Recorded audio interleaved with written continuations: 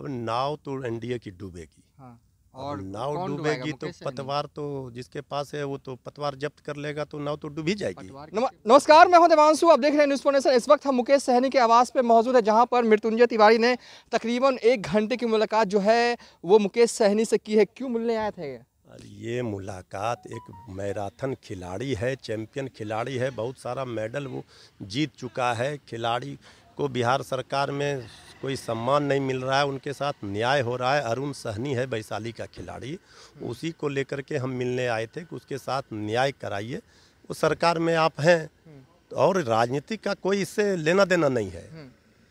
इसलिए क्या, क्या बिहार में खेला होने जा अरे भाई बिहार में तो वो खेला एनडीए के लोग कर रहे हैं खेल तमाशा कर रहे हैं हाँ। लड़ रहे हैं आपस आपस में। तो उसमें हाँ। हमारा क्या कसूर है? नहीं सवाल ये है फिर खिलाड़ी क्यों नहीं आए थे आपके साथ? भाई खिलाड़ी तो आए थे खिलाड़ी आए हुए हैं खिलाड़ी अभी निकले हैं। आप कल फिर आएगा वो खिलाड़ी आप मिला तो आप लोग तो देखे हुए हैं हम जब धरना प्रदर्शन करते हैं प्रदर्शन करते हैं तो खिलाड़ी रहता है अरुण सनी पूरा मेडल के साथ हमारे साथ। आप लोग देखें कल कहिएगा तो मिलवा देंगे। हाँ, तो वो बुलाए हैं वो बोले हैं कि ठीक है उसको आप कल भेज दीजिएगा और उसको हम बात करेंगे। सरकार में कहा है उसके साथ अन्याय हो रहा है। उपेंद्र कुशवाहा के यहाँ भी गए थे भाई मुकेश उप- सहनी। देखिए सब लोगों से खेलकूद को लेकर के लोग का निजी रिश्ता भी होता है। अब राजनीतिक दल के लोग हैं तो राजनीतिक बात भी होती है तो इसमें अब निजी चीज़ को तो राजनीतिक से कोई लेना देना नहीं है। अब वो जो भी चीज़ आप कयास लगा रहे हैं वो तो हमारा पार्टी का नेतृत्व न तय करता है। नाव की सवारी। अब नाव तो एनडीए की डूबेगी। हाँ और नाव डूबेगी तो पतवार तो जिसके पास है वो तो पतवार जब्त कर लेगा तो नाव तो डूब ही जाएगी। पटवार किसके पास है? पतवार तो मुकेश सहनी जी के पास है बाकी लोगों के पास है देख ही रहे खटपट चल रहा है तो अब सरकार में तो कुछ ठीक है नहीं। तो अब उसका दोष तो हमारे ऊपर नहीं लगना चाहिए हम इसमें क्या कर सकते हैं? सरकार में बैठे लोग लड़ रहे हैं आपस में। हमारे उस हमारा उससे कोई लेना देना नहीं। हाँ तो सिर्फ़ आप खेल के लिए मिलने आए खेल के लिए वो कल भी आप लोग देख लीजिएगा कल आइएगा देखिएगा अरुण सहनी एथलीट का प्लेयर है वो। तो क्या मांझी के पास भी जाएँगे उस लड़के के लिए? भाई वो लड़का अरुण सहनी है।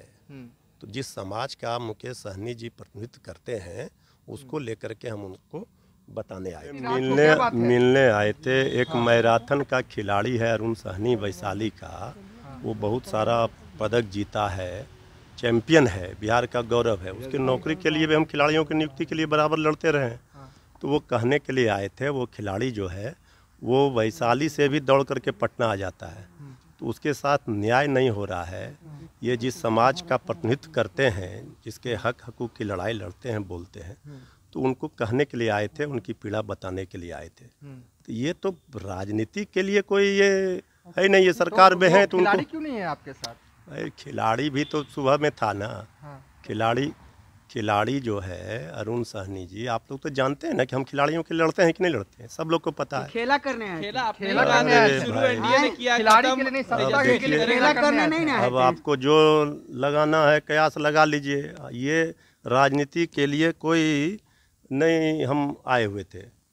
ये हमारा खेल का ये कहने के लिए आए थे उस खिलाड़ी के लिए। कड़कड़ाहट ठंड में इतनी रात को भाई तो आप हैं, आप आप लोग आप लोग इस ठंड में कहाँ जो है घूम रहे हैं? पता चला कि आप खेला करने आए हैं भाई रात के अंदर बता आप लोग ठंड में कहाँ घूम रहे हैं? उपेंद्र कुशवाहा के पास भी गए हुए थे अरे भाई तो उन्होंने क्या कहा?